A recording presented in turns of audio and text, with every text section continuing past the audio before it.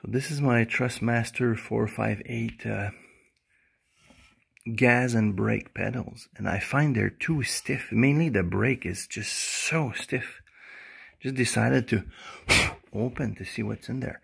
And I realized that the brake side has bigger coil springs. If you look carefully, the gauge of these springs is smaller on the gas side than on the brake side. And there's a pretty big preload on it. Means when you open the box, uh, the pedals want to push backward because uh, when you assemble it, you preload the spring. So I want to get rid of some of the preload.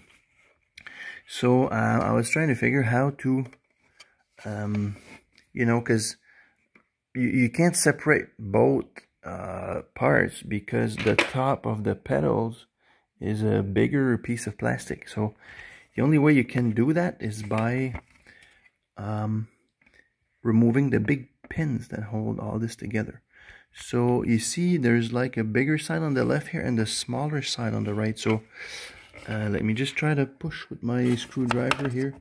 See I can pull this pin out. Let me just try this. Oh yeah, you see this pin is just walking right out. And it's greasy and everything, so I'm... Uh... Okay, so now that I pulled out this pin, yeah, it's all coming off. So let's do the right one. Um,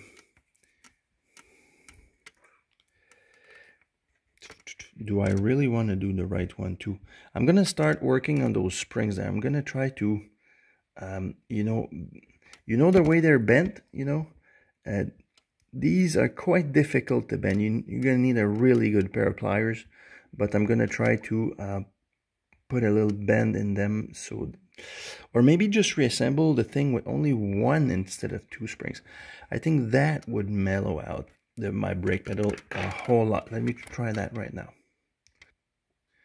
All right, so I'm dropping back this pin in with only one spring.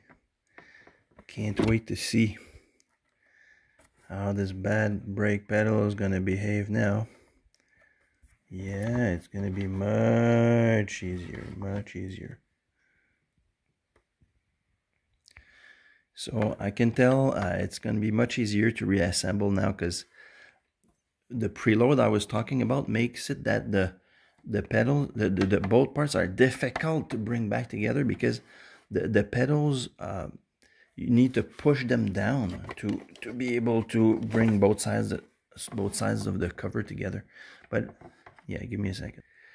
So I realized the only way to reassemble this now, um, unless you have a second person holding down the pedals, the only way to reassemble it is to just put the bottom screws on only halfway in so that they don't put too much pressure, but just to hold the whole thing down while you uh, press it down and put, put in the other screws if, if you have a, just the bottom screws first in, then it, it sort of holds the bottom to, to, to keep uh, assembling it.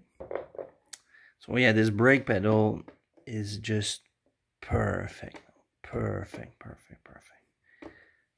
I, I think I'm going to do the same to the gas pedal. Just, just excuse my white socks.